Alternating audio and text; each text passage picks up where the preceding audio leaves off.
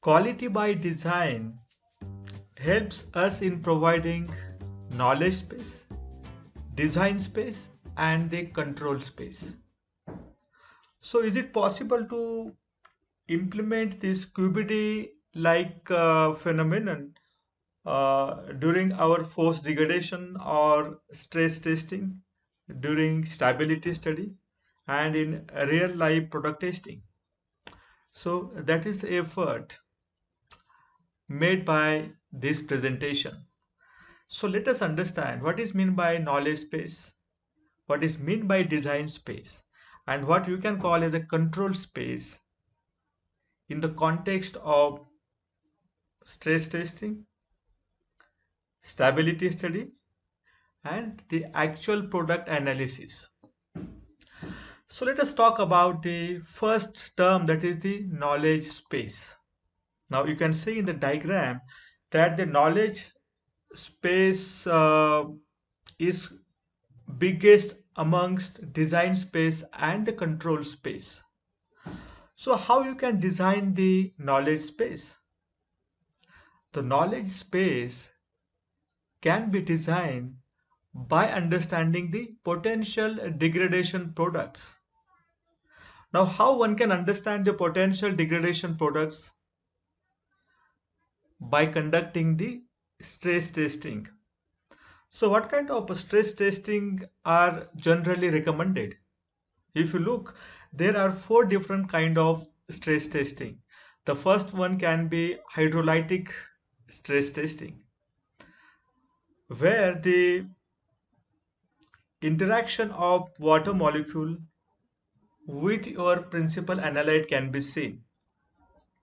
Similarly, along with the interaction of water molecule, you need to also understand the interaction across the entire pH range starting from acidic to alkaline.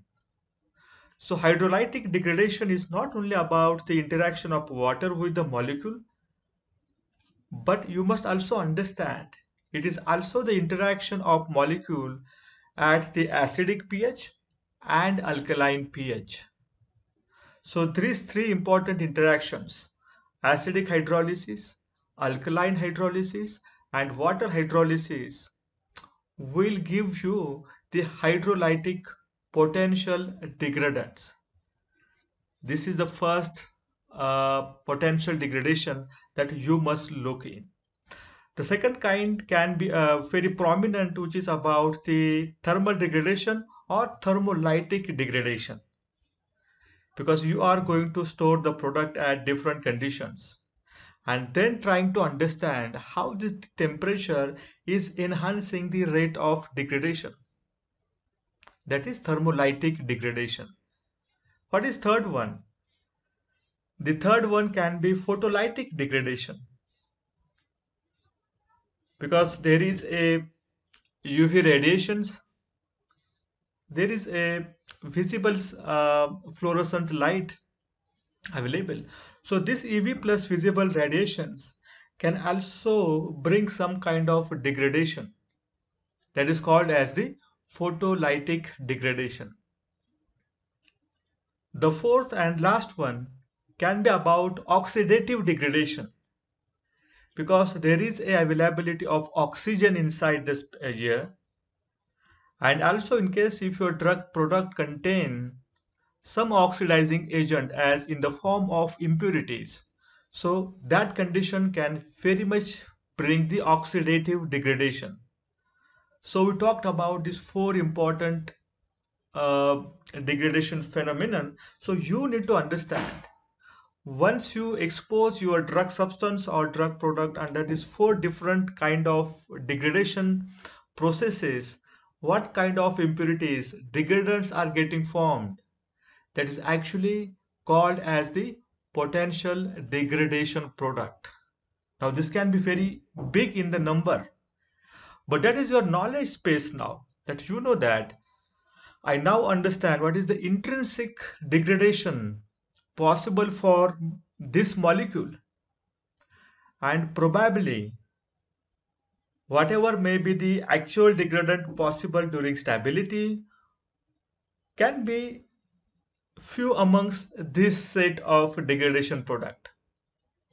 So first and foremost, build your knowledge space by designing appropriate stress uh, study or the forced degradation study.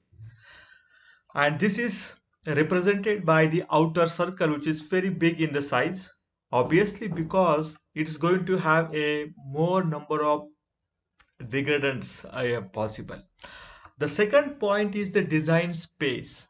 So how the design space can be built? See, you are now going to study the possible degradants if the product stored at long-term conditions as well as accelerated condition. So long-term can be your proposed storage condition. Like uh, for India it is uh, around 30 degrees Celsius. Uh, and it can be with the 75% RH and accelerated can be a 40 degrees Celsius and 75% RH. Now when you charge the product into these two conditions, long term and accelerated, what are the actual degradants getting generated maybe for six months of accelerated study and maybe your proposed shelf life of let us say 24 month now this is actually your design space that you know very much now. Though there is a potential degradants in big number but when i study my product at the proposed storage conditions which is my long-term condition and at accelerated condition which is little exaggerated as compared to my long-term these are the only degradants possible. Can you see a another circle just inside the knowledge space, which is smaller in size as compared to the knowledge space, and which is quite logical and practical because the condition that you are implementing in the stability study are much much milder as compared to the forced degradation conditions so the rate of degradation the number of degradants will be much less as compared to the forced degradation list of degradation product. Now you understand that is my design space now. That this is the possible degradation impurities if I have this kind of process and the packaging. Once you understand that and if you find that okay now this is going to meet my product specification or the regulatory requirement if all the degradants are below my specification, you can happily go ahead with actual manufacturing and marketing of your product. And then you are going to manufacture the batches. But for some reason, let us understand that this design space is not supporting your specification space.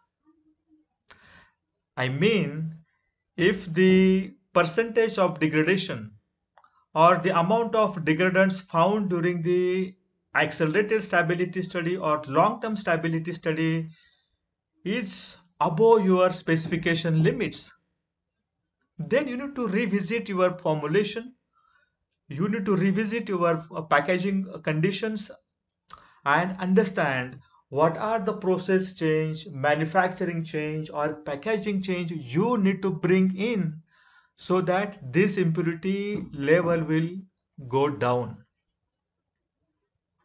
Once you do that, that is your perfect design space now.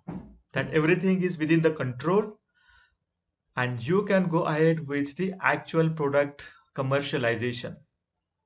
Look at the third point that is a control space now. The control space is what the sample that is actually going to the market now. See, the sample is not going to get stored at 40 degree and 75% RH. You are not at the 30 degree Celsius and 75% RH.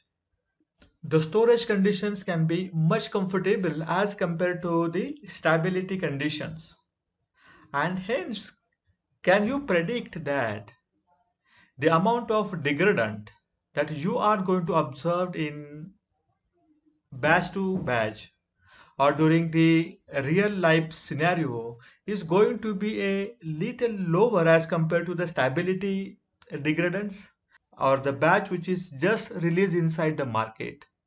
Even at its near expiry can have the lower amount of degradants present as compared to the amount of degradants observed in the accelerated stability storage conditions. And that is the reason if you see the last circle, that is third one, which is in the smaller size as compared to the design space.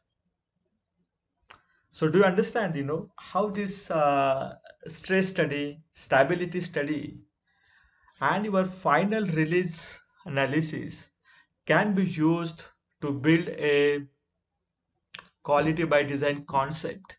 It cannot be called exactly as a quality by design concept, but you can understand, you know, how these different uh, processes of force degradation and stability study and the real life scenario is going to help you in understanding the overall product's degradation.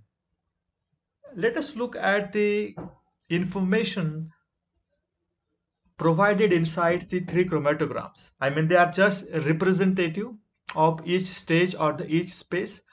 But let me explain you what that will reveal you. The first one is the knowledge space. So the number of impurities are much higher hmm, in number and quantities as compared to the number of impurities present inside the design space. There are very few impurities available in the design space and further if you look at the chromatograms, which is at the control space, you will find the number of impurities are much lower, even lower than the design space and much lower than the knowledge space. It just a representative chromatograms, but this will help you in understanding why this uh, circle uh, space is different for knowledge, design and the control. Thank you so much for watching this video and I will meet you soon with such kind of very informative and useful videos. Bye-bye.